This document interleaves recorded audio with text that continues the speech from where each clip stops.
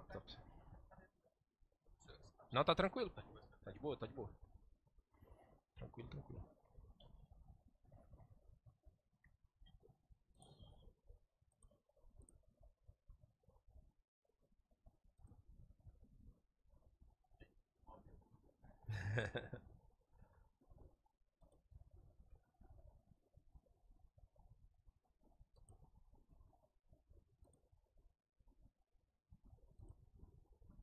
Pode mandar ver? Beleza. Boa noite, boa noite, pessoal. Estamos aí iniciando a nossa live de História do Acre. Rapaz, saiu o edital, que maravilha. O edital do IFAC, né? Instituto Federal do Acre, uma oportunidade aí excelente, uma oportunidade excepcional para você que está se preparando. Já convido todo mundo aí, manda o, o link, chama a galera para participar dessa live. Né? Nessa live aqui nós vamos ter justamente muito conteúdo bacana para você que está se preparando para esse para esse concurso público. Concurso público federal, meu amigo. Aí sim, hein? Concurso público federal. Sem dúvida a equipe do Insanos Concursos aqui está mobilizada. Já estamos nos mobilizando aí alguns dias, né? A galera que acompanha nas redes sociais, de vez em quando nós colocamos lá, né?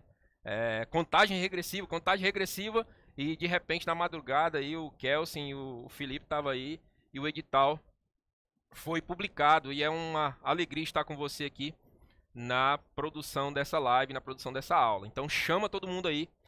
Professor Felipe Júnior na área, quero me apresentar a você que não me conhece. Sou professor de História do Acre aqui do Insanos Concurso. E sem dúvida nenhuma nós vamos ter uma preparação excepcional para esse concurso. Tenho certeza que você vai alcançar a sua vaga nesse concurso federal. Maravilha?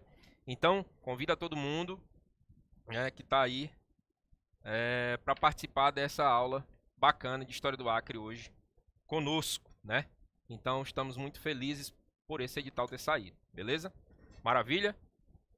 Vou esperar um pouquinho para você chamar o seu colega, mandar o link aí para a galera, né? Para que a gente possa começar efetivamente essa nossa aula. Como eu falei, nós temos aí, como o próprio professor Kelsen já fez um esclarecimento muito bacana acerca do edital, nós temos aí cargos para assistente, né, administrativo, em administração, né, assistente de educação e os cargos para professor né, de nível superior. Então nós temos muitas possibilidades nesse concurso e sem dúvida aqui no Insanos Concurso você vai ter a melhor preparação. Já temos turmas abertas aí. Quero deixar um, um recado especial aí para a galera que gosta do online. Né, nós temos aí as plataformas com 60% de desconto até o dia 30, hein? Dia 30, quinta-feira agora, beleza? Então vamos lá iniciar, sem muitas delongas. Maravilha. Edital aberto, né? História do Acre.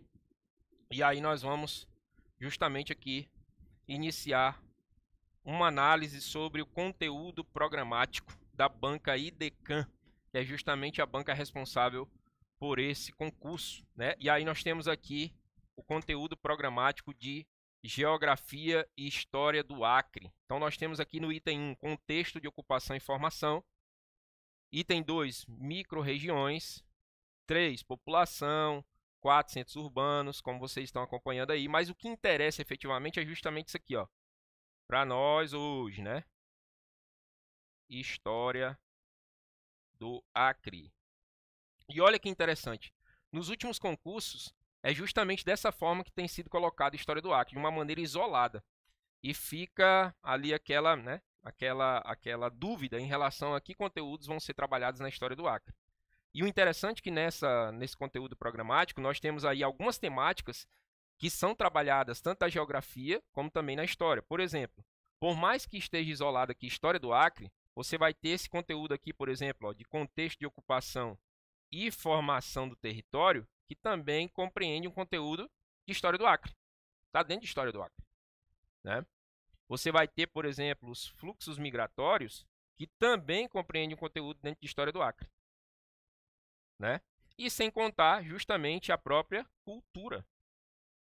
Portanto, nas nossas turmas presenciais e também nas turmas online, que nós já estamos produzindo, preparando conteúdo para vocês, nós vamos trabalhar todo o contexto de ocupação, de formação do nosso território, os tratados que foram assinados, né? Nós vamos trabalhar justamente a Revolução Acriana, passando pelos ciclos econômicos, chegando até o contexto cultural e até mesmo os é, os pontos turísticos no nosso estado, né? de tal maneira que você, ao final da preparação, quando chegar a prova lá em fevereiro, você esteja apto a gabaritar a história e geografia do Acre, né? acertar as cinco questões que englobam aí essa disciplina, essas duas disciplinas, geografia e história do Acre. Lembrando que geografia do Acre é justamente com o João Acácio e também nós temos um professor Humberto, professores de qualificação, né, que dispensa apresentações, professores excepcionais. Aliás, aqui no Insanos Concursos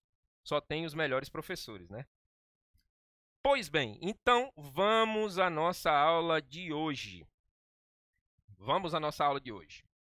Na aula de hoje, eu vou trazer para você um conteúdo de grande relevância, que é justamente o conteúdo da economia agropecuária no nosso estado, no Acre, né? Como foi esse processo de economia agropecuária? Lembrando rapidamente a você que durante a história do Acre, né, durante toda a história do Acre, nós tivemos três contextos econômicos, três ciclos econômicos durante toda a nossa história. Né? Nós tivemos o famosíssimo primeiro ciclo da borracha, que ocorre justamente lá no final do século XIX, né, até o início do século XX. É justamente o primeiro ciclo, o primeiro surto da borracha. Nós tivemos também o segundo ciclo da borracha, que ocorre lá em 1942, durante o contexto da, da, da Segunda Guerra Mundial. E nós tivemos esse ciclo aqui, que é justamente o ciclo que nós vamos trabalhar hoje, que é justamente a agropecuária sendo introduzida no nosso estado. Tá? Então a nossa aula de hoje vai tratar justamente dessa novidade econômica que vai ocorrer no Acre a partir da década de 70 e vai se estender pela década de 80 e 90 e hoje é uma base da nossa economia, né? E nós vamos tratar justamente dos reflexos dessa economia sendo introduzida aqui no nosso estado, beleza? Então já fica consciente, já fica aí é, a par do que nós vamos trabalhar nessa nossa aula de hoje, beleza? Como é que tá aí, hein? Como é que tá aí a live? Como é que tá a galera aí? Interagindo, tá tudo certo? Gosto de estar tá acompanhando aqui, gosto de estar tá vendo quem tá comentando. Como é que a galera tá tá tudo certinho aí, tá tudo bonitinho. Tudo certo? Tudo tranquilo? Gosto de ver os comentários. Manda um alô aí pra mim, fala comigo. gosto de interagir, né? Vamos ver como é que tá aqui. Boa noite a todos. Já tem uma galera aqui acompanhando. Quem faz um favor pra mim, cara? Pega a água. Acho que eu deixei aí fora minha garrafinha. Por favor. Ah, não, tá aqui, tá aqui. Tá aqui. Vou tomar uma água aqui. Olha aí o João comentando aí. Valeu, João.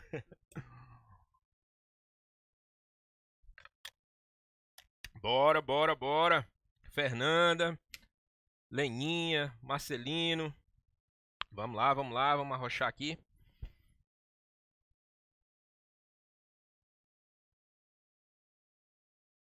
Então vamos lá. Pois bem, então vamos iniciar esse processo de explicação sobre a introdução da economia pecuária no nosso estado. E aí eu não posso falar eu não posso falar de introdução da economia agropecuária sem falar efetivamente do contexto nacional na década de 70, né, no Brasil, ou seja, o que acontecia no nosso país na década de 70. E na década de 70, o governo que estava né, vigorando, o governo que estava estabelecido no Brasil na época era justamente o governo militar. Lá em 1964 tinha acontecido o chamado golpe militar e os militares ficaram no poder até 1985. E assim que os militares chegaram ao poder, eles implantaram uma medida, né, um projeto conhecido como entregar integrar para não entregar. Olha só o projeto: integrar para não entregar. O que seria esse projeto? Professor, esse projeto é especificamente para o estado do Acre? Não, esse projeto é um contexto de norte e nordeste. Então, lá na década de 70, o governo resolveu fazer um processo de integração, como o próprio nome já está dizendo, entre as, região, as regiões norte e nordeste com o restante do país e principalmente com foco para a Amazônia. A ideia era justamente investir novos projetos econômicos para desenvolver essa região, para que a região amazônica passasse a ter um foco econômico mais forte, tendo em vista que lá na década de 1940, né, no finalzinho da década de 40, tinha ocorrido o fim do segundo ciclo da borracha. Então, em decorrência do fim do segundo ciclo da borracha, nós vamos ter novos rumos econômicos para o nosso Estado. Né? Então, a ideia do integrar para não entregar era justamente fazer com que a Amazônia, o norte do país e o nordeste também fossem integrados ao restante do país. Tá? Então, o interessante é o seguinte: eu sempre brinco com os alunos que, apesar de ter o termo integrar para não entregar, ou seja, desenvolver a região amazônica para não permitir que empresas estrangeiras, que outros países venham a ocupar essa região e se valer dos lucros dessa região, era tudo balela. Ou seja, o governo militar não estava efetivamente preocupado em integrar o norte e o nordeste. Né? Muito pelo contrário. Olha só o ideal do governo: era atrair empresas estrangeiras. Olha que, que controverso isso, né? Olha que, que, que falta de, é, de coerência por parte do governo. Ele vai dizer o seguinte: integrar para não entregar, mas do nada ele começa a atrair empresas estrangeiras, estadunidenses, né, inglesas, justamente para investir na Amazônia, né? Então você vai ter esse cenário aí de, digamos assim, incoerência por parte do governo militar, né? Nesse sentido de desenvolver a região amazônica, beleza? Pois bem, mas então, quais seriam as ações do governo a partir dessa teoria do integrar, né, desse projeto integrar para não entregar? A primeira ideia, como o próprio nome já está falando, de integração, seria a construção de rodovias. Seria fazer com que o norte e o nordeste do país passassem a ter ali uma interligação direta com o sudeste, com o sul do país, para que essa região norte e nordeste passassem a ser ali, é, ter uma, um contato direto e passasse a ser realmente um foco econômico importante né, na, na história do Brasil. E um dos reflexos dessa, desse investimento é justamente a construção da rodovia transamazônica.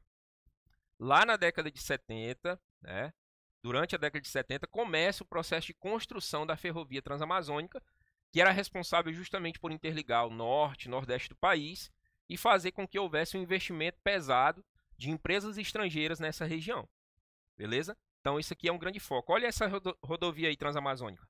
Olha como ela é até os dias atuais. Tem alguns trechos dessa rodovia que são dessa forma que vocês estão vendo aqui. Né? São intransitáveis. Então, esse é um grande reflexo dessa, desses investimentos aí do governo federal. Quero lembrar sempre a você que está aí assistindo que eu estou contextualizando a nossa aula. Preste bastante atenção. Eu estou falando primeiro de um contexto de norte, Nordeste do governo militar, para daqui a pouco a gente entender o que isso tem a ver com a introdução da agropecuária aqui no nosso, no nosso estado, beleza? Então aqui tem alguns dados sobre a rodovia transamazônica, né? Você vai ver aí que ela foi construída no governo do Emílio Garrastazu Médici, né? Lá de 69 a 74, mais ou menos. E cerca de 4 mil pessoas foram destinadas para a região amazônica para construir essa rodovia transamazônica, né, na BR-230, como é conhecida, e que causa muitos transtornos até os dias atuais. Beleza? Tá tudo tranquilo aí? Tudo bem? Tudo de boa? Estão conseguindo compreender a aula do professor? Tá tudo certo? Tá tudo de boa? Fala comigo. Eu gosto de sempre estar tá nessa comunicação, né? Para saber o que, que vocês estão pensando sobre a aula. Tudo de boa? De vez em quando eu vou molhando aqui as palavras, né?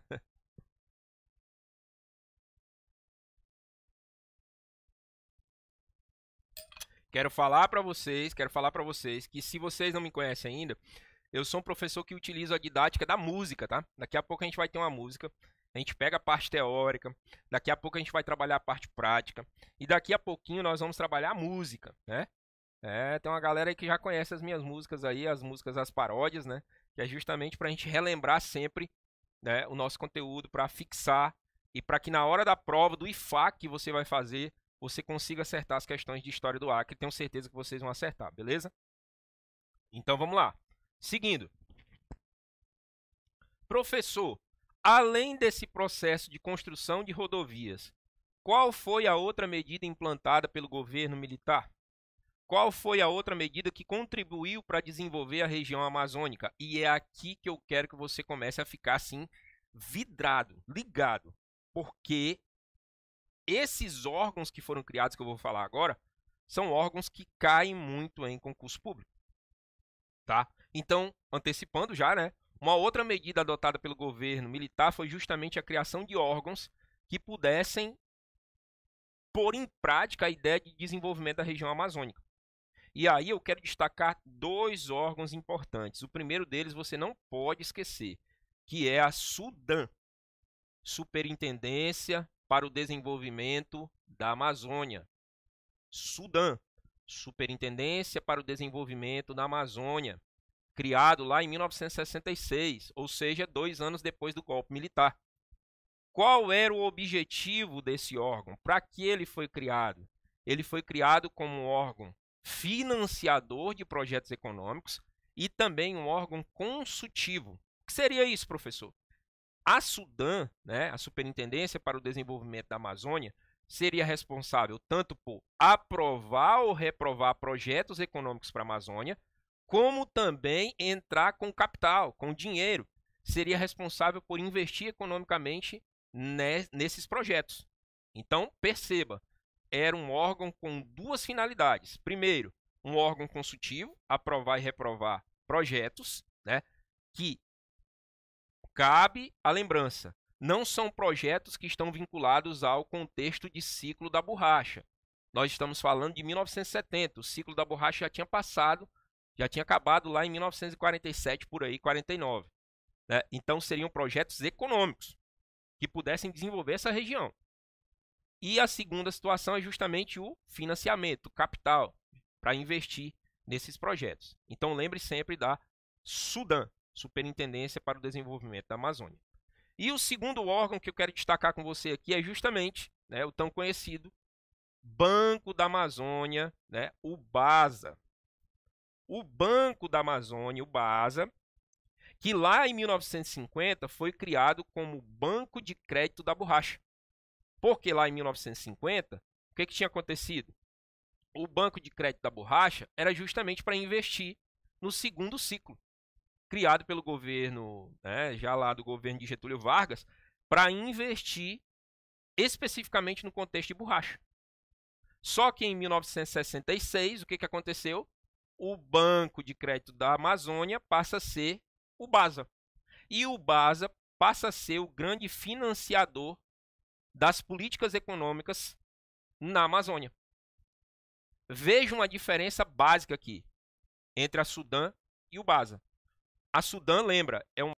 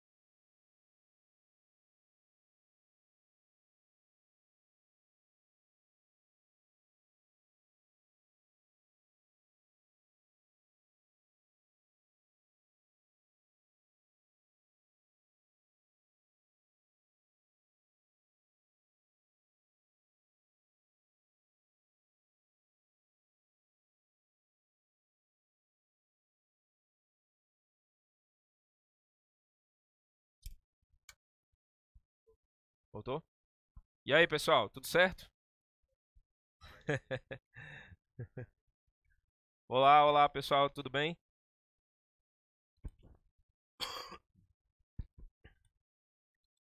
Fala, pessoal. Não tá não.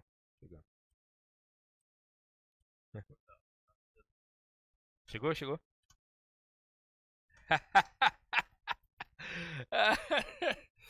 Esse João Acácio é fuleiro, ó. Esse João Acácio é fuleiro. que professor lindo, é. Lindo é tu, bonitão. Hã? o João Acácio aí colocou. Gente, essa semana só. Meu Deus do céu, só aula top. Professor João Acácio, acho que é quarta-feira, hein? Quarta-feira, né? História e Geografia do Acre, essa galera aí vai gabaritar, não é, João? Meu Deus do céu, meu amigo. E nessa semana aí é só professor top. Né? Aliás, meu amigo, aqui no Insanos Concursos é só professor alto nível, meu amigo. E sem contar a equipe aqui também, ó. É, a galera aqui que tá nos bastidores, eles arrebentam. Bota pra, pra arrebentar mesmo. Agora tá ok, né? Tudo certinho? Todo mundo ouvindo aí? Podemos voltar? Podemos voltar raciocínio? Olha aí, o Giovanni já sabe, meu amigo, da música, ó. Giovanni já conhece. Vamos cantar já já, Giovanni. vamos lá, vamos lá, vamos lá então. Aí, pessoal, eu estava falando justamente sobre as ações do governo federal, né? Agora nós vamos falar das ações do governo estadual. E aí eu quero que você guarde justamente o nome desse carinha aqui, ó. Vanderlei Dantas. Vanderlei Dantas. Esse cara foi o responsável, justamente, foi o responsável por investir na economia agropecuária. Né? Esse cara aqui, ó, esse bonitão aí, ó, essa carequinha bonita, né? Ele foi o responsável. Mas o que ele fez efetivamente? Ficou sem áudio de novo? Ah, não, acho que é por causa do delay, né? Por causa do delay. Então, ó, é, quais foram as ações do governo do Vanderlei Dantas? Foi justamente, primeiro, oferecer aos empresários incentivos estaduais. Ou seja, o que, que ele fez? Existia, né, aqui no nosso Acre, o chamado Banco do Acre o famoso Banacre. E como o Vanderlei Dantas era o governador na época, lá na, na década de 70, o que, que o cara fez? Ele pensou assim, rapaz, eu vou começar a atrair essa galera que quer investir aqui no Acre, que quer né, efetivamente desenvolver essa região. Lembrem sempre, uma conectividade com o projeto Integrar para não entregar. E aí ele vai justamente começar a atrair empresários, pecuaristas, pessoas que quisessem efetivamente investir na pecuária aqui no nosso estado. Então, olha a ação que o cara vai ter. É justamente, primeiro, oferecer benefícios econômicos do Banacre. Eu sempre brinco dizendo o seguinte: é como se o, o Vanderlei Dantas ele entrasse em, em contato com os, com os empresários paulistas, empresários né, do sul do país, e ele dissesse assim: ó, eu quero que vocês venham para o Acre, comecem a investir na pecuária, comecem a investir em outros projetos econômicos, Aí essa galera começa a dizer, mas aí eu vou ganhar o que investindo no Acre? Né, efetivamente numa região distante, que não vai ter nenhum atrativo. Aí o Vanderlei Dantas ele vai dizer o seguinte: primeiro lugar, se vocês precisarem de dinheiro, eu empresto dinheiro. Pego o dinheiro do Banacre, do Banacre né, e empresto para vocês. Aí os caras, só isso, meu irmão, se vocês precisarem de abatimento nos impostos, nos tributos, eu também faço isso. Aí os caras, só isso? Aí ele dizia, meu Deus, ainda quer mais, é, velho? ainda está pouco. Aí ele dizia o seguinte: eu vou criar uma série de projetos também para investir na pecuária no Acre. Então vocês só não vêm se vocês não quiserem. E é tanto que ele tem um termo, né, uma frasezinha que ele diz, que é justamente essa frase aqui, ó. Produzir no Acre, investir no Acre, exportar pelo Pacífico. Essa era a jogada de marketing do cara. Ele dizia o seguinte: vem para o Acre, produz, né, investe na pecuária e escoamento da produção não vai ser problema. Nós temos o Pacífico. É, ele vai utilizar justamente a nossa questão geográfica né, é, para atrair esses investidores, para atrair esses empresários, né, para que eles pudessem, então, é, desenvolver economicamente essa região. Beleza? Então ele não vai ser bobo, ele vai fazer o seu marketing. Né? E aí ele tem uma outra frase também que é bem interessante. Ó. Essa aqui é de grande destaque. ele basicamente vai dizer que o, que o Acre é perfeito. Pô. O Acre é perfeito. É, ele vai dizer o seguinte: ele vai dizer, o Acre é o Nordeste sem seca e o Sul sem geada. Perfeito. O Acre é perfeito. O cara olha e vai dizer assim, rapaz, não tem jeito. Eu vou ter que ir pro Acre. O Acre é perfeito.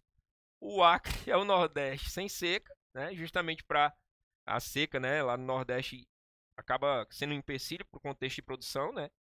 E o, o, o, sul tem justamente as baixas temperaturas que também acabam prejudicando principalmente a geada, né?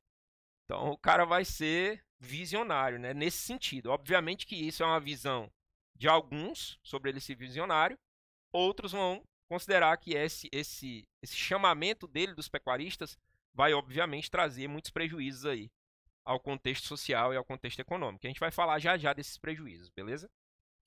Então é isso. Lá na tua prova do IFAC, se cair assim, ó, governador que mais investiu na agropecuária na década de 70, 80, não tem erro. Vanderlei Dantas, esse carinha aí, ó, Vanderlei Dantas. Não foi né, o Jorge Viana, não foi o Orley Cameli, não foi o Gladys Cameli, foi o Vanderlei Dantas. Beleza? Então lembra desse cara. Lembra desse cara aí. Esse bonitão aí. Como Vanderlei Dantas foi o cara que investiu efetivamente nisso, o que, que vai começar a acontecer? Os caras vão começar a vir para cá. Aí nós vamos ter algo que não cai nas provas de concurso. Não cai não, pô. Despenca, despenca. Que é justamente o quê? A chegada desses empresários que vêm do centro-sul do país esses empresários vão ter uma nomenclatura que você não pode esquecer. Paulistas ou sulistas.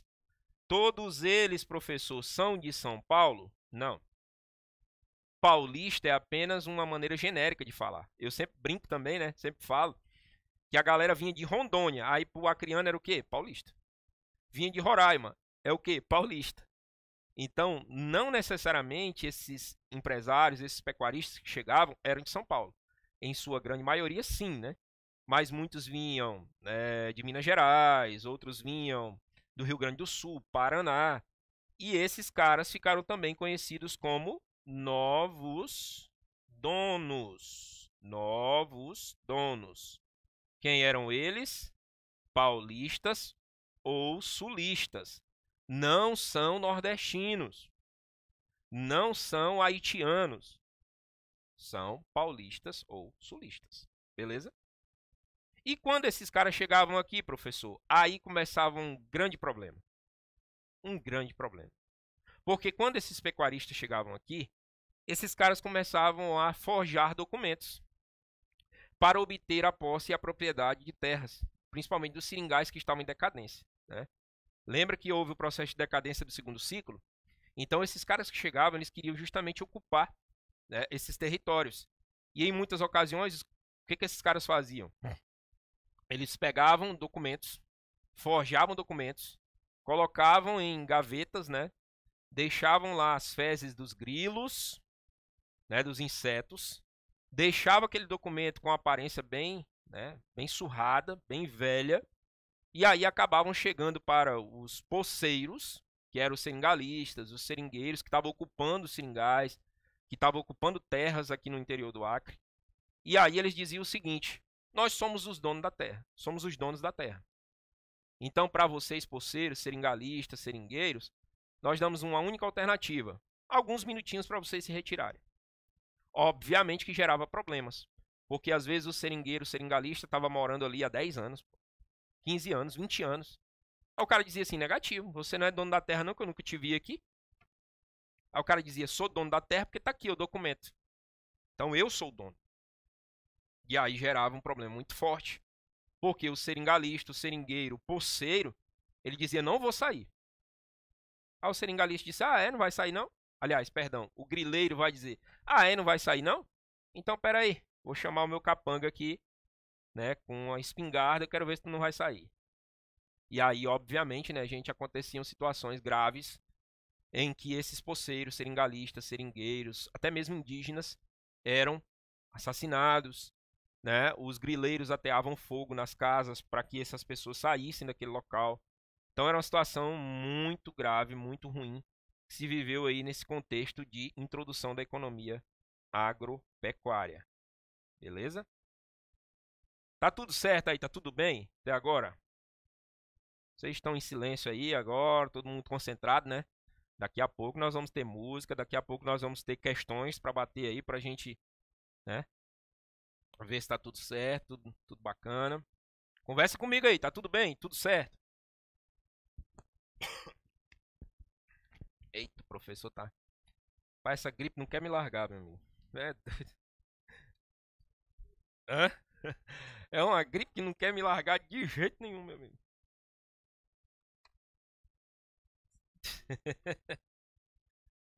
tudo bem, tudo certo aí? Fala comigo. Fala comigo, pelo amor de Deus.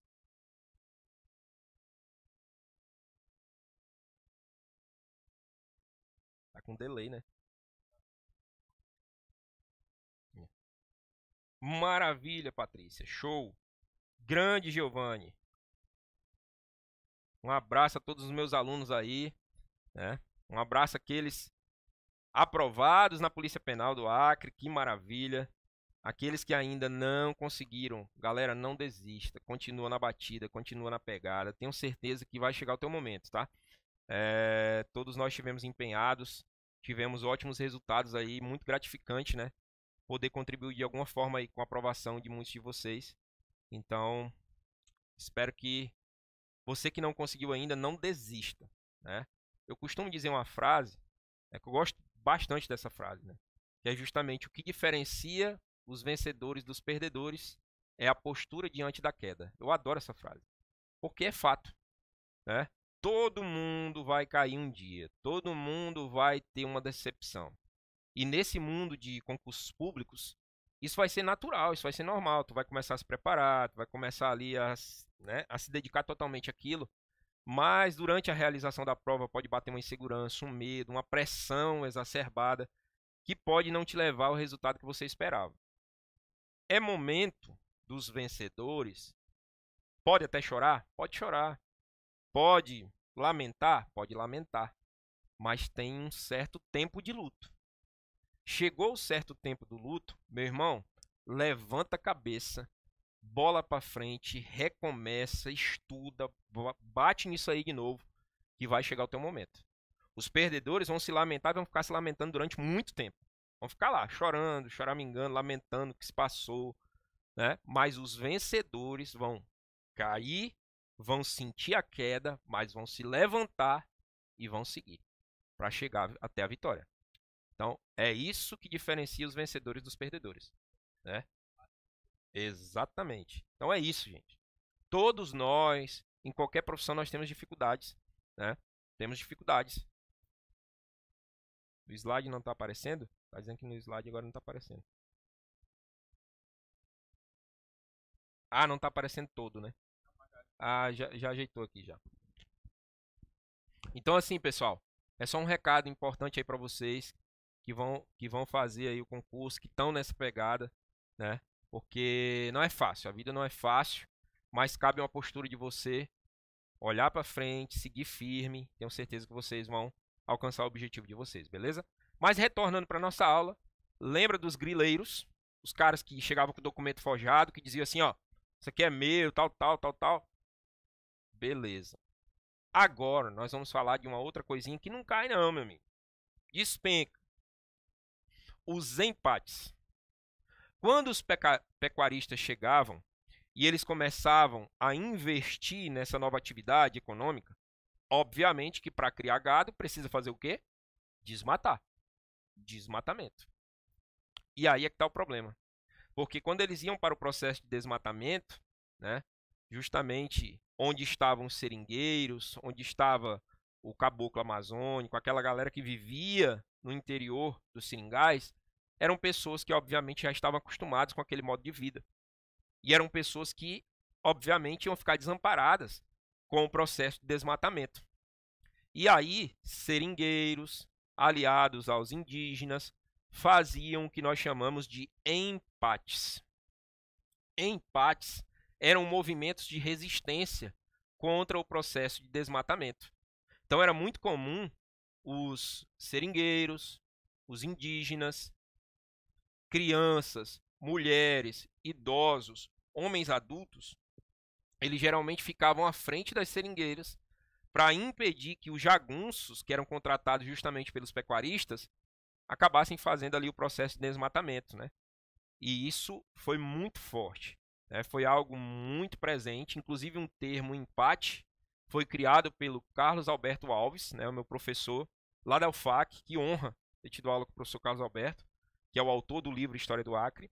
E ele que criou, né, segundo ele, na verdade, o termo empate foi criado pelo, pelo Chico Mendes. Né? Então ele trata muito bem no livro dele, na verdade, sobre esse termo empates, né, que é justamente o movimento de resistência.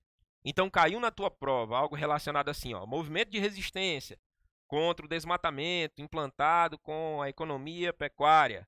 Qual é o nome? Empates. Não tem erro. Beleza? Aí é uma imagenzinha para vocês terem noção de como era justamente esse processo de resistência. Né? Beleza?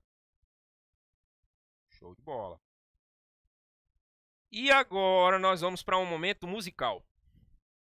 Para relembrar tudo que eu falei nós vamos para um momento musical. Quem sabe a música aí vai cantar junto comigo. Eu não sou o Gustavo Lima, nem em dinheiro, nem em talento, muito menos em beleza. Mas o importante é justamente a gente cantar para relembrar o conteúdo, tá? Então a ideia é justamente essa para que você relembre o conteúdo que nós trabalhamos. Vamos ver o que, a galera vai dizer se tá ouvindo legal aí. Tá ouvindo legal o violão aí?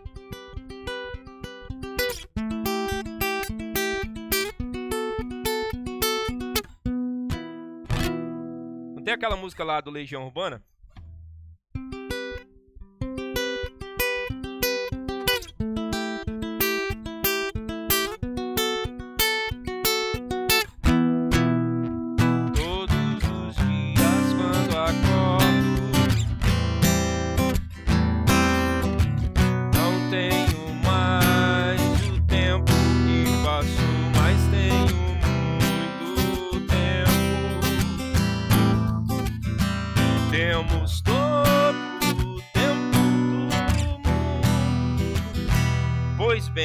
Agora vai virar essa música aqui.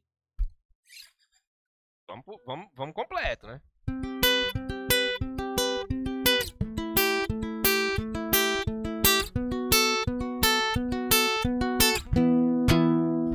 Entre setenta e oitenta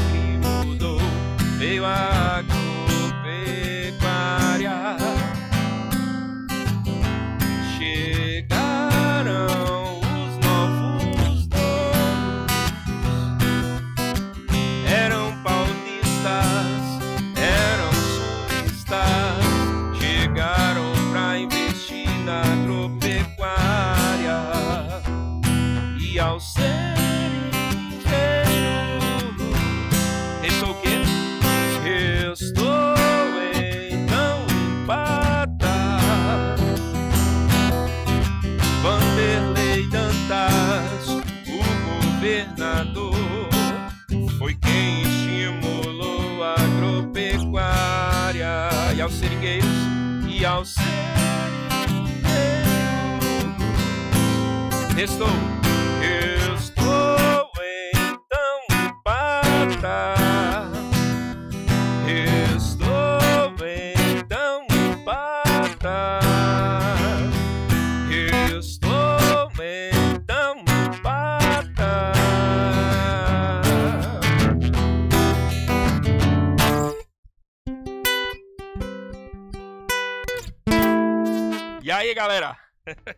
Isso é uma música para vocês lembrarem do conteúdo, né? Desculpa aí a voz, a garganta, tô rouco só. É, como eu falei, a gripe tá querendo me pegar de todo jeito, meu amigo. Não tem jeito, já tô tentando fugir de todas as formas, mas é incrível como ela tá me abraçando, meu amigo. Mas o importante é a gente captar o conteúdo. Então lembra aí, ó, 70 e 80, economia qual é? Agropecuária. Quem eram os caras? Novos donos paulistas, sulistas, o que coube a galera, né, aos seringueiros, aos indígenas, empates, empates, beleza? Muito obrigado, Patrícia. Muito obrigado, Giovanni. Tamo junto. Então é o seguinte. Então é o seguinte. Vamos para uma parada agora de questões? Bora lá? Vamos para a parte prática agora. Daqui a pouco a gente volta aí na parte teórica. Vamos lá, vamos lá, vamos lá. Vamos lá, vamos lá, vamos lá, vamos lá, vamos lá. Vamos agora fazer, vamos fazer algumas questões. Vamos testar. Grande Marina, um abraço Marina. Essa é a rochada, meu amigo. Valeu, Patrícia. Um abraço a todos, um abraço a todos. Vamos lá, vamos lá, vamos lá. Agora vamos questões, hein? Vamos ver se vai dar certo. Vou testar vocês. Eu quero que todos respondam aí. À vontade. Agora é hora de vocês participarem ativamente. Todos que estão participando, beleza? Todos que estão aí na live. Primeira questãozinha. Em 1966, o governo brasileiro transformou o antigo Banco de Crédito da Borracha em Banco da Amazônia SA, Sociedades Anônimas. Fato que tinha por finalidade, vamos lá. Letra A, tornar o Basa no financiador da produção da borracha em processo de recuperação em seu primeiro, em seu segundo ciclo. E aí, essa questão não está correta. Por quê? Por causa disso aqui, ó. Financiador da produção da borracha. Opa, nada disso aqui. Já tinha acabado o segundo ciclo, tá? Já tinha acabado o segundo ciclo. Professor, mas não tinha um banco aí que financiava o segundo ciclo? Sim, era o banco de crédito da borracha.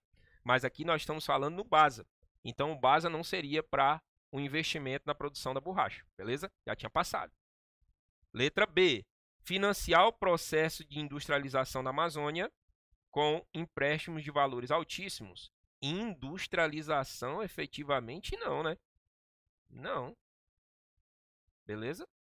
Valores altíssimos, nem tanto, né? Mas principalmente processo de industrialização, tá? Olha aí, o Giovanni já falou qual é a dele aí.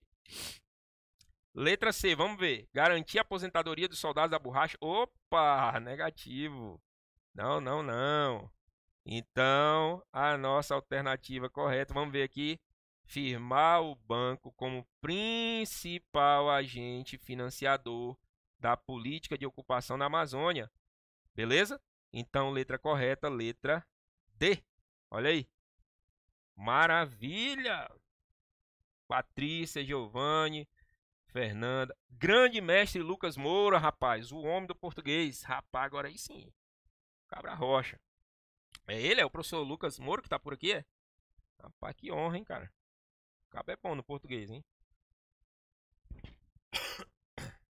Segunda questão, vamos lá. Entre os anos 1960 e 1970, o governo brasileiro resolveu investir pesadamente na Amazônia, com a finalidade de lucrar com a economia da região. Para tanto, o governo criou, vamos, vamos grifar isso aqui, ó, um órgão para financiar e aprovar. Estão vendo aqui? Duas finalidades. Estão vendo aqui? Vamos ver se eu consigo escrever nesse negócio aqui. Duas finalidades. Rapaz, que negócio bonito, bicho. Tu é doido. Show, ó. Duas finalidades. E aí? E esse, né, esse órgão teria sido, letra A, o Instituto de Colonização e Reforma Agrária, o INCRA? Não, né? Letra B, Banco de Crédito da Amazônia, será, hein? Hum... Banco de Crédito da Amazônia, vamos deixar aqui um pontinho aqui para a gente pensar. Letra C, Superintendência da Zona Franca de Manaus, Suframa. Nananina, não. Lembrando que a letra A, Instituto de Colonização e Reforma Agrária, é justamente para regulamentação fundiária, né? Letra C, Superintendência da Zona Franca de Manaus, é justamente para ceder benefícios a empresas né, que comprem pela Suframa, justamente para investir um pouquinho na economia da região amazônica. Né? Letra D, Superintendência de Desenvolvimento da Amazônia. Bacana, hein? Muito bacana. E aí, qual vocês marcariam? Grande Michel. Um abraço, Michel. Tu é o cara, Michel. Sou teu fã, brother. Tamo junto. E aí, qual vocês marcariam?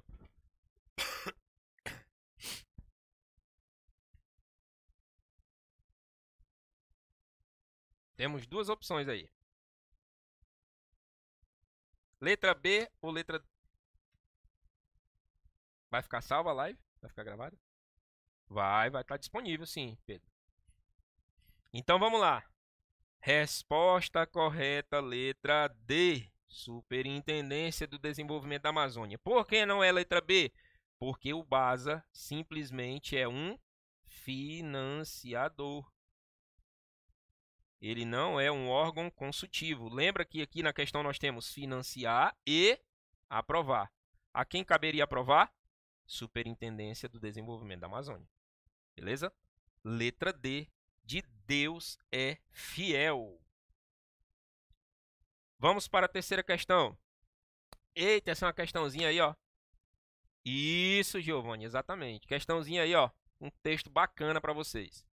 No princípio dos anos 1970, a conjugação da profunda crise do extrativismo da borracha e dos anos de chumbo da ditadura militar teve efeito devastador sobre o Acre. O governo, olha aí, Vanderlei Dantas, decidida a modificar o eixo de desenvolvimento econômico regional, estimulou a vinda de grandes empresas, fazendeiros e especuladores de terras para o Acre, em sintonia com a nova política proposta pelo regime militar. Lembra lá, integrar para não entregar. Os seringalistas falidos e sem crédito não têm como resistir e acabaram por vender enormes áreas por preços muito baixos. Em poucos anos, um terço de todas as terras acrianas muda de mãos. Fácil essa, hein? Como ficaram conhecidos regionalmente esses novos donos das terras acrianas? Dicas importante para vocês agora, antes de nós respondermos essa questão. Galera, na hora da prova, que tu for fazer lá a prova do IFAC, você pode fazer a seguinte sistemática. Vai para o finalzinho da questão, da pergunta. Porque às vezes o texto, ó, isso aqui que nós acabamos de fazer, eu fiz para mostrar para vocês isso aqui. O texto aqui, ó, ele não ia ajudar muito não. Porque se você pegasse a pergunta, como ficaram conhecidos regionalmente esses novos donos, e soubesse disso que nós falamos, não precisava nem do texto. Então, os novos donos que chegaram, essa aí tá fácil demais, hein? Quem eram? Quem eram? Eram os eram os paulistas. Olha aí. Paulistas.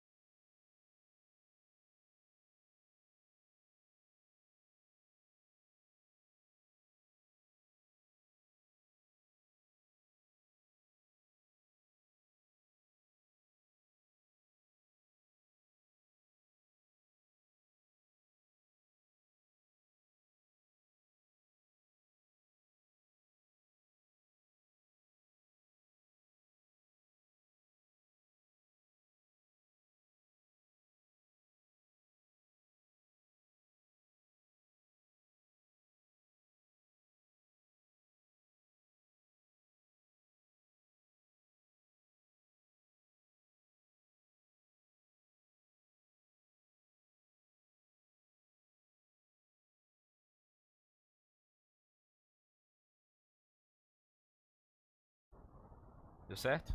Deu bom? E aí agora, tá tudo bem? Voltou o Já, já. Tudo certo aí agora? Voltou? Fala comigo.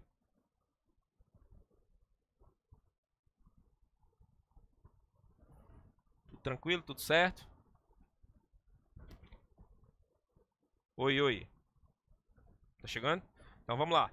Quarta questão, olha aí. Os anos de 1970 e 1980 desenharam outro contexto econômico para o Acre com a vinda dos chamados. Eita, coisa boa, olha aí. Fácil demais, hein? Os sulistas. Maravilha. Quem falou aí letra D acertou tranquilamente. Bolivianos não, né, mano? Bolivianos não, né? Já chegaram lá final do século eh, meados do século XIX, na verdade, né? Peruanos também, né? Nordestinos final do século XIX. Europeus, então, ixi, chegaram bem antes, né? Beleza? Vamos lá, vamos lá. Quinta questão. a partir da década de 1970, tá vendo como as questões são no mesmo sentido? Tá vendo aí? Ó, foram constantes os conflitos pela posse da terra no Acre. Foram diversos os motivos para os conflitos, principalmente entre diferentes setores econômicos. Uma política do governo federal que serviu de importante fator na indução dos conflitos foi: o que, que o governo federal fez no contexto econômico aqui a partir da década de 70? Letra A: abertura econômica com atração de indústrias, eita, indústrias multinacionais para a produção de, não sei nem falar isso aqui, o Christian que sabe falar esse negócio aqui, software. Olha, rapaz, saiu bonito agora, hein? Tu é, essa aí saiu perfeito, hein? Esse software. Rapaz, para a produção de software. Imagina só, na década de 70, governo federal investindo em softwares aqui no, no nosso estado. Já pensou? Indústrias multinacionais. Tá de brincadeira. Pois não é? Letra B. Oferecimento. Então aqui não tem a menor chance. Letra B. Oferecimento de recompensas para destruição das plantações de café. Tchash, cana de açúcar. Menor possibilidade, meu Deus. C. Implementação de bases militares para fiscalização das fronteiras com a Bolívia. E olha o absurdo: fronteira com o Paraguai. Uh, Acre, a região. Eita, jache, com o Paraguai. Não é, rapaz. Olha aí o professor Christian. Rapaz, rapaz, o Christian ainda mandou aqui, ó. Software. Rapaz, outro nível. Aqui é monstro, meu. Letra D. Diminuição dos subsídios à produção da borracha. Opa, isso aqui tá legal, hein? Por quê? Porque houve o processo de decadência, né? Incentivos fiscais ao setor agropecuário? Com certeza. Então a nossa alternativa correta é letra D. De Deus é fiel. Que maravilha. É, exatamente. Grande professor Christian. Melhor professor de informática do estado do Acre, da região norte. Esse cara é bom, meu amigo. E ele vai estar tá por aqui esses dias aí, hein? Se liga. Se liga na live do homem que ele é, ele é bom, ele é diferenciado. Aliás, como eu falei aqui, só tem professor alto nível, hein? Dos que eu falei aqui, professor Christian, professor João Acácio, professor Lucas Moura, meu amigo, só os bons. Quem ficar por aqui, meu amigo, no Insanos, rapaz, só aula de qualidade, hein? Mas vamos lá. Sexta questão.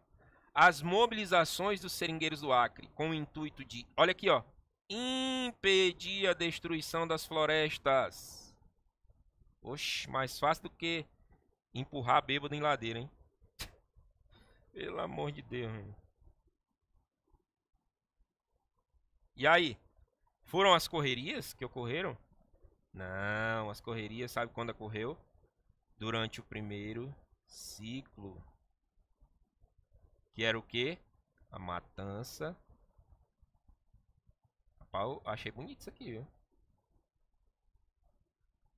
Esse aqui é... Achei bonito esse negócio aqui, viu? Ficou, pô. É, ficou show de bola. E aí, letra B, empates. Tá legal, hein? Aviamento. Não, aviamento é primeiro ciclo também, né? Batalhas da borracha também não. Então, como a maioria aí colocou, letra B. Letra B. E a galera aí que não está acostumada com a minha aula é o seguinte: durante a minha aula eu faço algumas profecias, né? Quando a gente está resolvendo questões. Então a letra B eu sempre digo que letra B é B de Bahamas, nas férias. Já pensou tu concursado federal, ganhando uma baba, uma grana aí, principalmente a galera de nível superior. Guarda um dinheirinho, faz aí uma projeção econômica, né? Guarda uma, um dinheirinho e de vez em quando nas férias, né, vai lá para Bahamas. Olha aí, coisa boa. Quem não acreditar vai para Bolívia.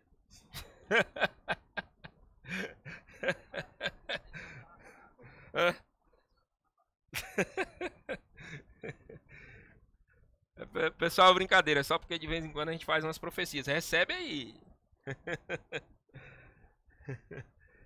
Olha aí, Marina.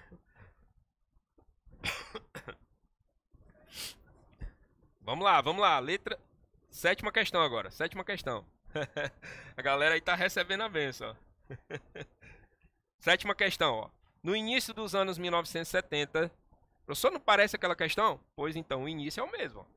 O período de crise do extrativismo da borracha e dos anos de chumbo da ditadura militar teve um efeito devastador sobre o Acre. Os seringais sem crédito não resistiram, seringalistas sem crédito não resistiram e acabaram por vender enormes áreas por preços muito baixos. Em poucos anos, um terço de todas as terras acrianas muda de mãos. Assim, olha aqui, ó. Parece aquela mesma questão, né? Novos donos. Tá vendo? São questões, gente, de concursos diferentes, bancas diferentes, tá vendo? Ficaram conhecidos regionalmente como cariocas. Acho, hein? Correrias? Não, já falamos o que é correria. Bolivaristas? Não. Letra C. Paulistas. Aí, garoto. Aqui é letra C de concursado, amém? De contra-cheque. Ô, oh, maravilha. Salário. Salário forte aí. Tem um contra-cheque, tem... Opa. Oitava questão, oitava questão. Vamos lá. No início da década de 1870, essa questãozinha é capciosa, porque o cabo tem que ler com atenção aqui, porque ele, senão ele pode se confundir. No início da década de 1870, a seca no interior nordestino expulsou centenas de pessoas que rumaram para os seringais do Acre, que se multiplicavam pelos vales do rio Acre, do rio Purus e mais ao oeste do rio Tarauacá em busca de trabalho. Ou seja, aqui ó, no início da década de 1870, ele está falando de quê? Do primeiro ciclo. Aí o cabo pode se confundir. Mas vamos lá os paulistas ou sulistas, aí aqui ele já, o cabo já se encontra. Como são conhecidos, surgem em terras acrianas 100 anos depois, ou seja, em 1970. Lá no início está falando na década de 1870. Então aqui, os paulistas vêm em 1970. E esses caras vão vir em busca de quê, meu? Vamos para a letra A. Terras para o desenvolvimento agropecuário. Nossa, será que os paulistas vieram aqui em busca disso? Investir na pecuária? Claro que sim, meus jovens. Letra A. Não tem muito mistério, não. Letra A de aprovados. Amém. ah, rapaz, que maravilha. Agora, nona questão. Nona questão. Essa aqui também é muito legal, hein? Muito legal. A partir da década, a partir de 1970, tá vendo que todas as questões começam parecidas? A partir da década de 1970, a partir de 1970, e são bancas diferentes, tá? Aqui nós tivemos, ó, já é, banca do IBFC, aqui já tive questões da banca do IBAD, tá? Então são questões de banca diferentes. É, exatamente, Marina. Exatamente, só para encher linguiça. Porque é o seguinte, nesse caso aqui a gente vai dar uma lidazinha, porque diz, ó, a partir da década de 1970, a implantação progressiva de investimentos na pecuária no Acre, é, após a obtenção de incentivos fiscais e financeiros, os pecuaristas, aí, ó, paulistas, prosseguiam a limpa de suas áreas, ou seja, o desmatamento, né? Entendida não só como a formação de pastagens, mas também como a expulsão os seringueiros. Aqui, ó, isso aqui é o chave para responder essa questão. Expulsão dos seringueiros remanescentes. Ou seja, se houve uma expulsão, os caras estavam na zona rural. Se eles forem expulsos, eles vão para onde? Zona urbana. Então, beleza. Os caras são expulsos. Sai da zona rural, vai para a zona urbana. Perfeito? Então, olha aí. Consequência direta da expansão da pecuária e expulsão de seringueiros foi a forte aqui, ó, corrente migratória no estado. Corrente migratória no estado. Em relação às mudanças populacionais ocorridas entre o início da segunda metade do século XX e o início do século XXI no Acre, assinale a alternativa correta. A população rural passou a predominar no estado em relação à urbana? Não, né? Sabe por quê? Porque os caras saíram da zona rural e foram para a zona urbana. Então, não aconteceu um processo de aumento né, da zona rural. Muito pelo contrário, diminuiu. Correto? Letra B. O aumento da população urbana levou ao crescimento de centros urbanos. Lembra que os seringueiros foram expulsos? Vieram para a zona urbana? Então, houve o aumento da população urbana. Fechou. Então a resposta correta é letra B, de Bahamas nas férias. Vai recebendo aí. Búzios. Bom. Bom. Muito bom. Berlim. Ah, rapaz, aqui. O jovem aqui tá inspirado, ó.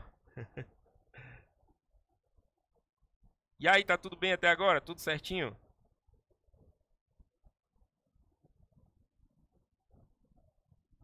Tudo tranquilo? Fala comigo aí.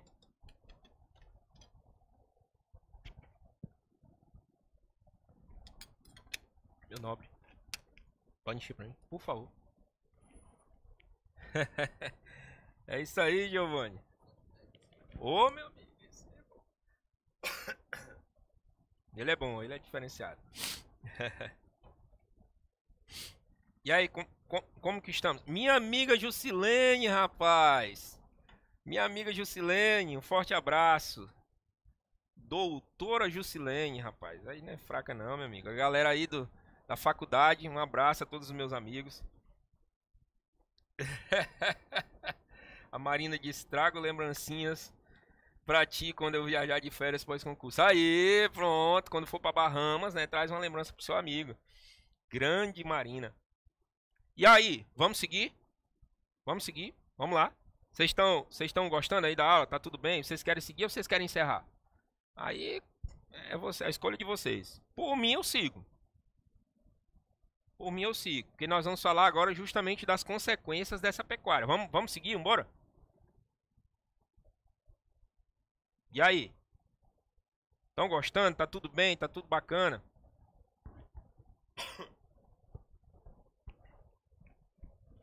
Pois é, Jusilene. Tava aqui no, no compromisso. Tava no compromisso, Jusilene. Segunda-feira, rapaz. Deixa eu ver. Segunda-feira é. Segunda-feira, ter uma, uma aulazinha de tributário, meu amigo. Uma provazinha de tributário. Direito tributário, Luan. Só Jesus na causa. Meu Jesus Bora, bora. Então vamos, vamos seguir. Então vamos seguir. Maravilha, maravilha. Vamos lá. Então agora é o seguinte, nós vamos ver as consequências desse processo de economia agropecuária sendo implantada aqui. Muito obrigado, meu amigo. Então, obviamente, obviamente, que quando foi implantada a economia agropecuária aqui no nosso estado, vieram consequências negativas desse processo, né? Que é justamente o desmatamento, é, muitos seringueiros, seringalistas se viram obrigados a migrar para a zona urbana, né? E aí, e aí, é, nós vamos ter justamente esse contexto crítico, né? Social, com essa mudança econômica que nós tivemos a partir da década de 70. E aí, quem mais vai sofrer são justamente os seringueiros. Nesse contexto, nesse contexto, a partir da chegada dos grileiros, dos pecuaristas, dessa galera que começou um processo de desmatamento, nós vamos ter justamente uma mobilização dos trabalhadores, essa galera que vive na zona rural. E aí nós vamos ter a criação na década de 70 dos chamados sindicatos dos trabalhadores rurais do estado do Acre. A partir, a partir daí, os trabalhadores eles vão se mobilizar e vão buscar justamente mecanismos é, para que pudessem ali garantir os seus direitos. E que direitos são esses, professor? principalmente o chamado uso capião. Ou seja, muitos dos trabalhadores, seringalistas, seringueiros, que ocupavam as terras já há muito tempo, 15, 20 anos, eles tinham direito sobre aquela terra. E aí, quando os grileiros chegavam com documentos falsificados, o que esperavam esses trabalhadores rurais? Que o INCRA, Instituto Nacional de Colonização e Reforma Agrária, pudesse ali, de alguma forma, lutar por eles, para que eles pudessem ali garantir o direito sobre a terra, né, o Utpossidetes, para que de algum modo a justiça fosse feita. E aí eles começaram a desenvolver um movimento de resistência a partir dos sindicatos dos trabalhadores rurais no estado do Acre. Começou onde? Começou justamente lá no Alto Acre. No Alto Acre, né? Aí a galera de Brasileia, de Chapuri, eles começam o processo de resistência. Diante disso, eu quero falar de duas figuraças, de duas figurinhas aí, que não caem no concurso público, tá? Nos concursos públicos, eles despencam. Então nós precisamos falar dessas duas figuras. Começando com essa figura que aparece aí na tela para os senhores e senhoras. O Wilson Pinheiro, né? Esse cara aí vai ser justamente o primeiro grande destaque na liderança de sindicato de trabalhadores rurais no estado do Acre. O Wilson Pinheiro. E aí nós vamos falar um pouquinho sobre a vida desse indivíduo. Para a gente conhecer um pouquinho da, do legado, da trajetória do Wilson Pinheiro. Né? O Wilson Pinheiro ele começou a se destacar justamente sendo presidente de um dos primeiros sindicatos rurais que o Acre possuiu, que é justamente no município de Brasileia. E ele também é, acabou entrando no meio político e sendo aí um representante do Partido dos Trabalhadores lá no município de Brasileia. Cabe a lembrança, cabe aqui destacar, que nessa mesma época que o Wilson Pinheiro ele começava a se destacar como presidente do sindicato, havia um outro indivíduo que também ajudava o Wilson Pinheiro nesse processo de resistência, que era justamente o cara que nós vamos falar a seguir, que é o Chico Mendes. Então, enquanto o Wilson Pinheiro já começava a despontar na década de 70 como um grande líder sindical, o Chico Mendes era uma espécie ali de aprendiz, né? Do, do Wilson Pinheiro, porque ele era secretário do Sindicato de Trabalhadores Rurais lá de Brasileia. Né? Então tem muita gente, por exemplo, que confunde, acha que foi o Chico Mendes que começou a se destacar primeiro, né, nesse contexto sindical, e na verdade o primeiro a se destacar foi o Wilson Pinheiro. Né? Ele foi o grande precursor desse processo de resistência. Tá? Então, lá em 1979, ele começou a ganhar um destaque regional né, é, chegando até outras regiões do nosso estado, né, quando ele liderou aí o mutirão contra a jagunçada. Jagunçada é justamente aqueles caras que eram contratados pelos pecuaristas, responsáveis por né, pelo desmatamento, responsáveis por chegar na residência das pessoas e, né, muitas ocasiões até a fogo, ou até mesmo né, é, matar algumas pessoas, né, que não, que não obedeciam ali os, os pecuaristas para sair da sua terra, ou da terra que eles diziam que eram donos, né?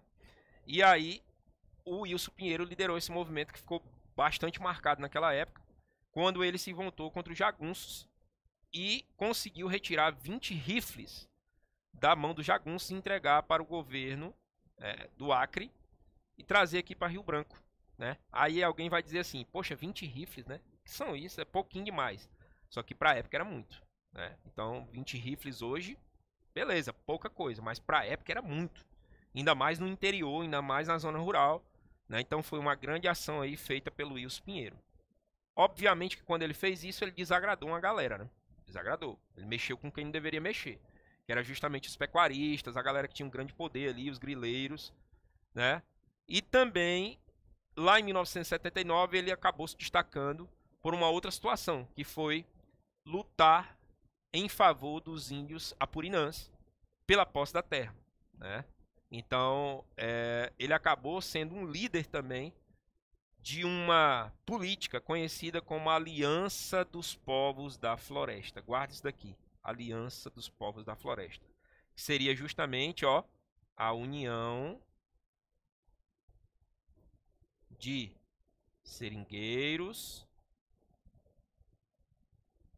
Gostei disso aqui, ó, Luan. Seringueiros e indígenas. Rapaz, gostei demais disso aqui, ó, cara. Show, ó. Olha aí, união de seringueiros e indígenas.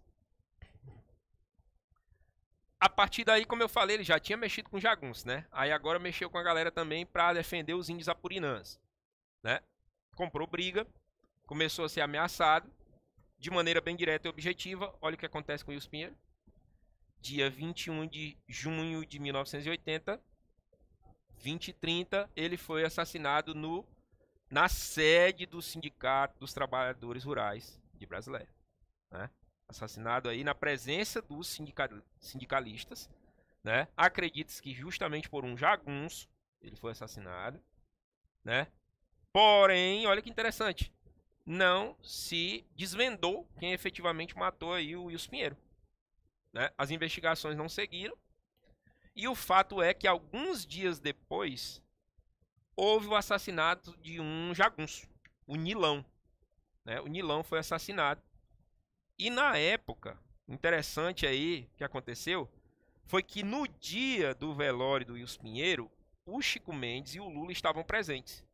E o Lula teria proferido uma frase, né? Essa frase aqui, ó. agora a onça vai beber água. Agora a onça vai beber água. O que, que aconteceu com essa frase? Essa frase foi entendida como uma incitação à violência. E, sobretudo, alguns dias depois, né, o Nilão apareceu morto. Obviamente que houve uma investigação contra o Lula e o Chico Mendes. Eles foram processados, tá? Mas depois eles foram absolvidos, né?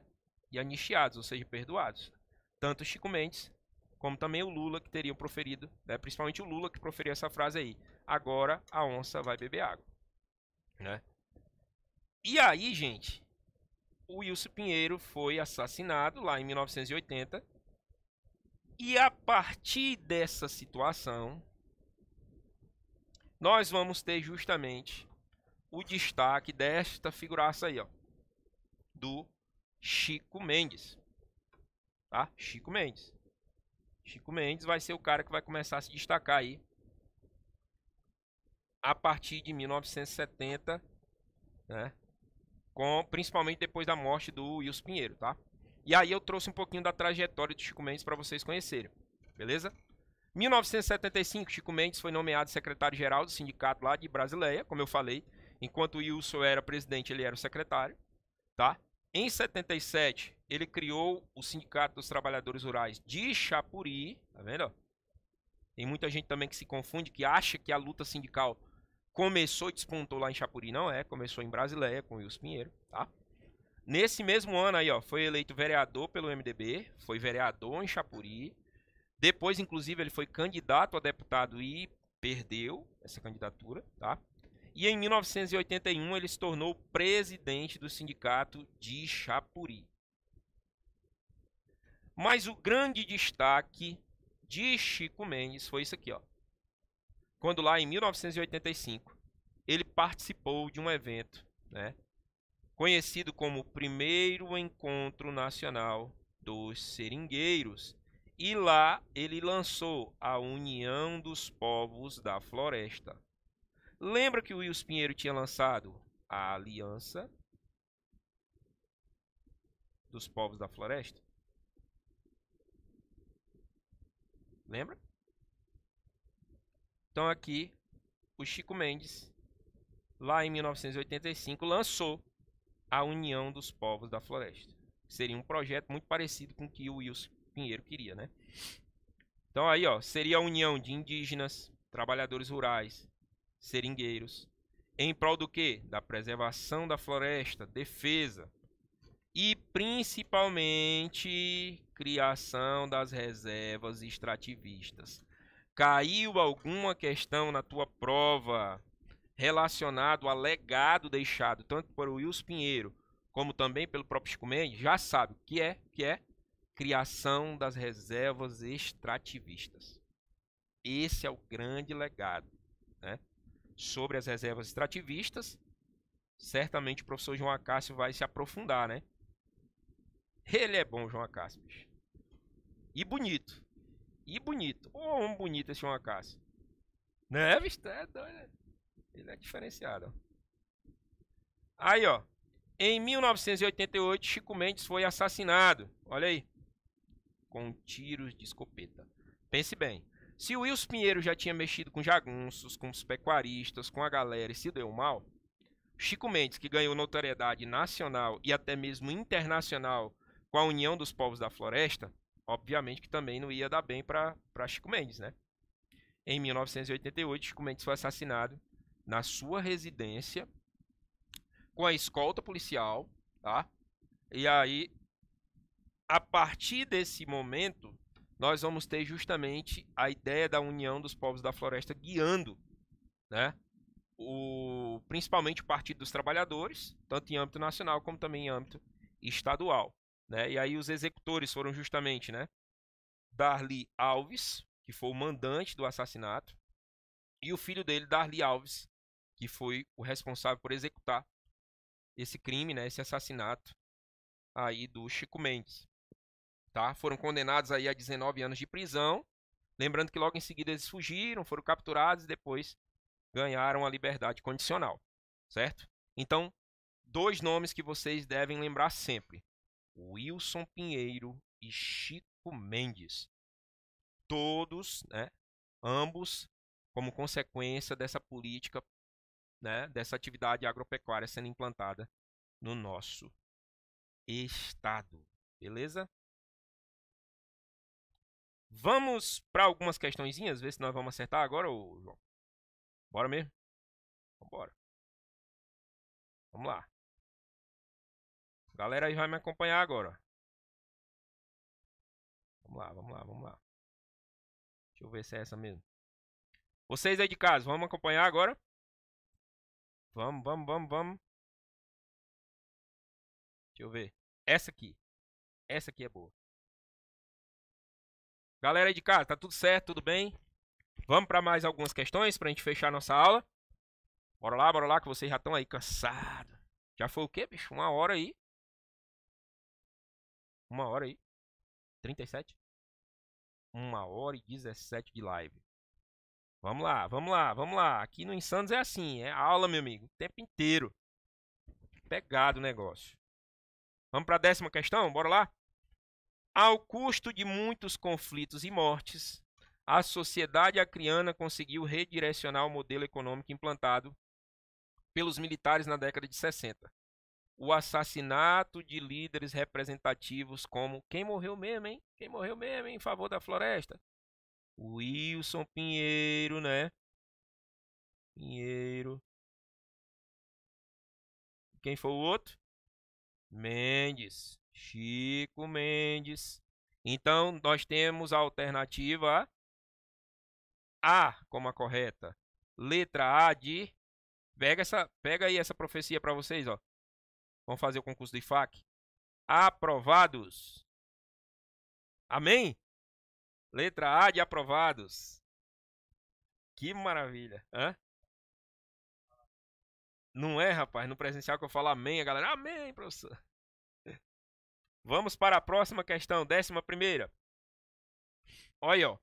Após um longo tempo de denúncias contra a destruição ambiental e as mazelas sociais produzidas pela expansão capitalista na Amazônia no pós-64, passou-se a assistir nos anos 1990 uma gradativa mudança no enfoque nas abordagens sobre a região uma das entidades não governamentais que se destacaram na defesa da floresta amazônica no Acre, aqui ó, entidades não governamentais que se destacaram na defesa da floresta amazônica.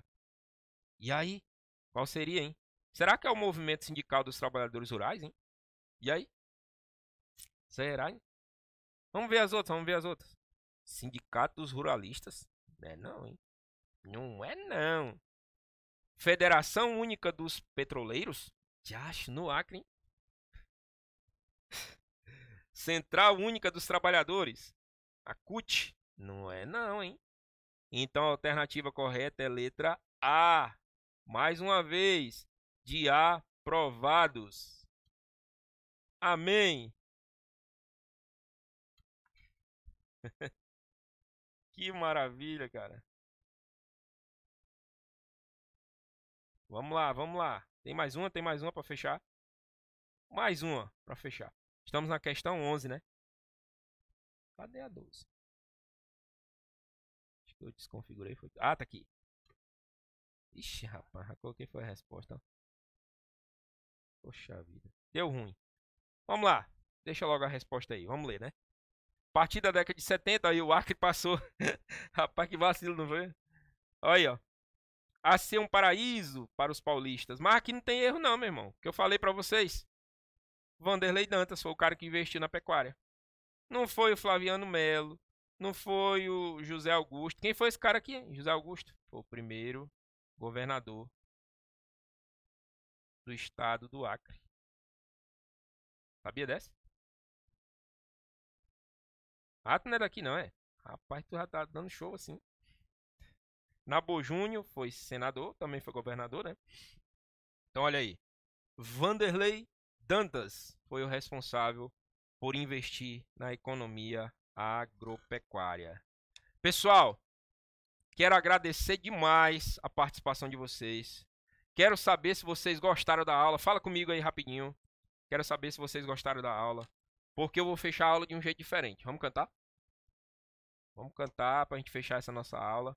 Enquanto isso, você vai me dizendo aí se você gostou da minha aula, se você conseguiu aprender aí sobre essa economia agropecuária. Quero dizer para a galera aí do da plataforma do Detran, do IFAC, principalmente do IFAC, que está aí na plataforma do Insanos. Estamos gravando as aulas aqui de maneira espetacular, né? Aqui, meu amigo, a estrutura é top. E tenho certeza que você vai ter a melhor preparação para você passar nesse concurso do IFAC. Amém? Oh, maravilha. Podemos cantar? Então vamos lá. Vamos cantar, vamos cantar.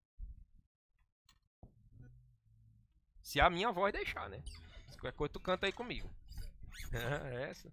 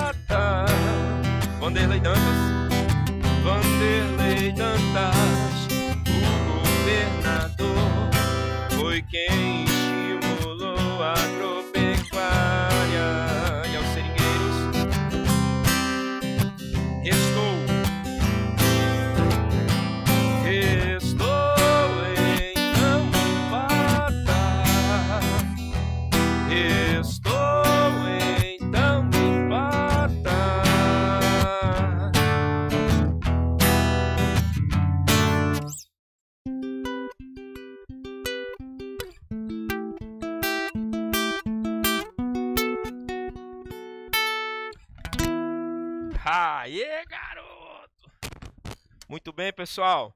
Um forte abraço a todos. Convido todos vocês a seguirem lá nas redes sociais Insanos Concursos, Professor Felipe Júnior.